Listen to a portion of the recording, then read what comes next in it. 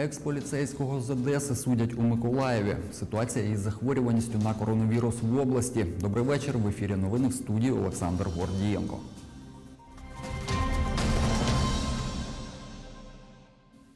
Засідання у закритому режимі. Так обирають запобіжний захід у Заводському районному суді Миколаєва екс-поліцейському з Одеси Михайлу Положенцеву, якого підозрюють у зґвалтуванні неповнолітньої дівчини.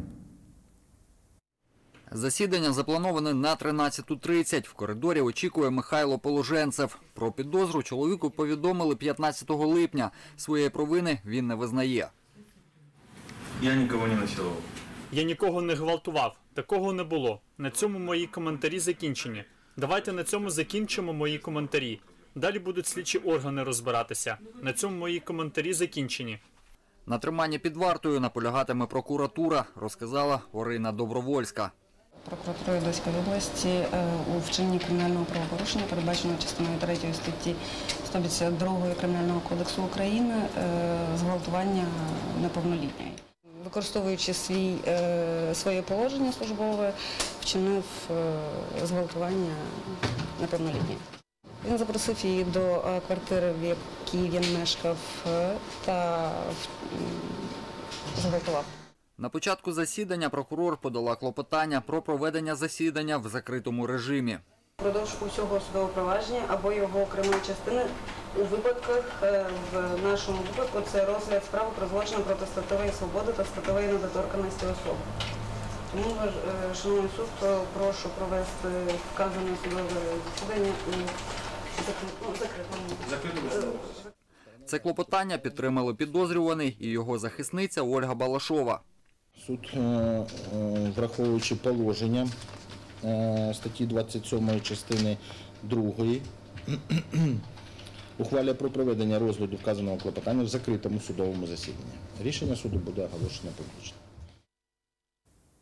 За версією слідства, 11 лютого підозрюваний запросив школярку до себе додому та змусив її вступити з ним в інтимні стосунки. Після чого підозрюваний вивіз дівчину на зупинку громадського транспорту. До поліції із заявою дівчина звернулась сама.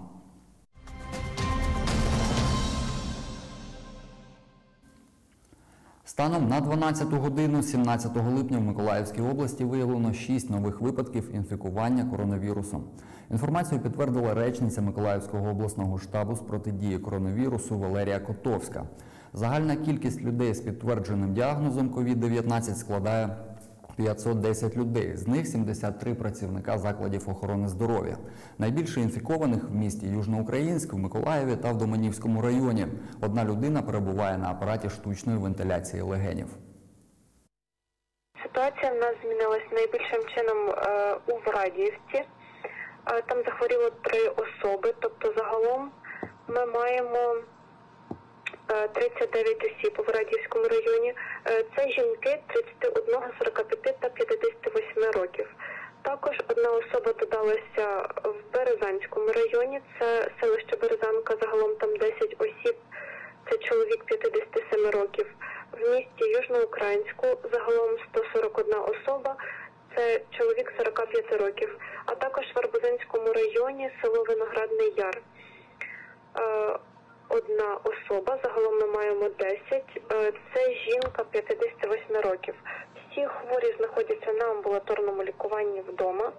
Померлих за цю добу не зареєстровано. Одужало 4 особи. Загалом ми вже маємо одужавших 400. Е, Це люди з міста Южноукраїнська, 4 чоловіки 40, 61 та 34 років. Також жінка 62 років.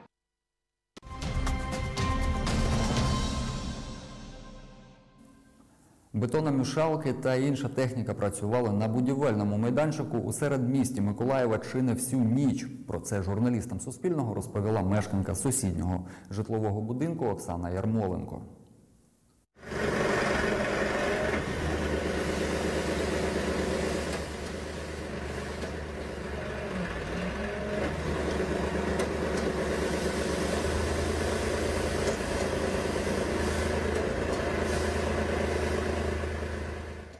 З 10 липня протягом кількох ночей на спецлінію 102 надійшло 11 викликів від мешканців оточуючих будинків зі скаргами на високий рівень шуму на будівництві. Начинайте утром и работайте утром. Зачем это делать сейчас? заливать? Мы с вами жили более-менее мирно. Вы что, думаете, что Мы это так один раз просто сейчас подошли, сойдет когда или вы что? в 10. Вы сказали, нам осталось чуть-чуть. Мы потерпели. Два часа ночи. Ну, люди реально спать хотят. Будівництво на Лягіна 7 триває вже рік. Втім, працювати та шуміти ночами почали нещодавно. Говорить мешканка будинку по вулиці Лягіна 9 Оксана Ярмоленко. Відстань від будівельного майданчика до стіни будинку жінки 3 метри. Проблеми по ночам у нас. Проблеми ночами у нас почались тиждень тому. Ось протягом тижня ми викликаємо поліцію. Описати я цього не можу. Це просто враження, що у вас у квартирі, тобто саме у вас, а не десь там, довбають. Я не знаю, яке обладнання вони використовують. Вони стукають. Шум надзвичайно сильний. Навіть при зачинених вікнах ти просто не можеш не те, що спати. Голова розколюється. Поліцейські на виклики приїжджали п'ять разів, говорить речник патрульної поліції Віталій Душко. Місцеві мешканці скаржились, що під час будівельних робот е, робітники порушують режим тиші. По всім випадкам е, патрульні провели профілактичну бесіду з робітниками цього будівництва та наголосили на дотриманні виконання режиму тиші, а саме е, заборони проведення ремонтних робіт в нічну пору доби.